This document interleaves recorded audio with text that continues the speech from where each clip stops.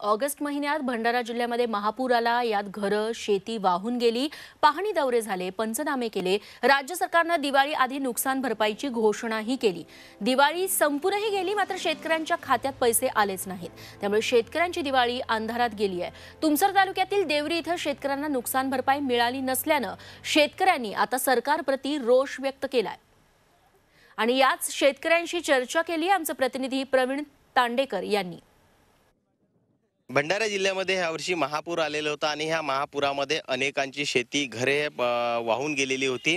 अनेकांचे मोठ्या प्रमाणात नुकसान झालेलं होतं. आपण सध्या नुकसानग्रस्त गा गावामध्ये आहोत. आपल्यासोबत काही शेतकरी सुद्धा आहेत आणि ज्यांच्या घ- घरांचे नुकसान झालं असेही काही लोक आहेत. आपण त्यांच्याशी ते जाणून घेऊया काय नेमकी समस्या काका काय सांगाल नेमकं? काय समस्या झाली होती आणि काय झालं? तुम्हाला पैसे मिळेल का शासनाकडून? पैसे नाही मिळाले. आमचा घर पुरा चापा बसून गेला. दोन मुलीच्या पूर्वी मी बाहेर आहो सभा मंडळ सभा तर मला काही लाभ नाही काही नाही. एवढा तरी मी आपले बारा परिवार घेऊन सिन त्याचे मी जगून राहिलो. आता शासन मला का मदत देते का नाही दे काही मला सुचे नाही.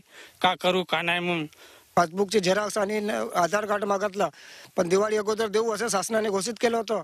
पण आजपर्यंत कोणाच्याही माझ्यात नाही आणखी अन्य किसान कास्तकाराच्या अकाउंटमध्ये आजपर्यंत पैसे आलेले आहेत आणि आमची जे दिवाळी आहे ते उजेडात होणार होती ते आज अंधारात झालेली आहे. बपेरा क्षेत्रामध्ये संपूर्ण बपेरा क्षेत्रामध्ये कुठेही कोणत्याही शेतकऱ्याला किंवा भूमिहीनला किंवा एखाद्या घर पडलाय त्याला कोणालाही लाभ मिळालेला नाही आहे जर शासनाने याकडे या याच्याकडे दुर्लक्ष केलं तर येत्या आठ ते दहा दिवसात आम्ही बपेरा जिल्हा परिषद क्षेत्रात आंदोलन उभारण्याचा प्रयत्न करणार आहोत. तरी शासनाकडे या बाबीकडे दुर्लक्ष करू नये.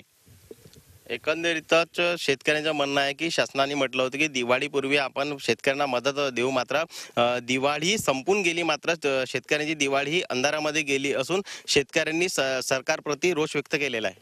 प्रवीण तांडेकर झी मीडिया भंडारा. Joe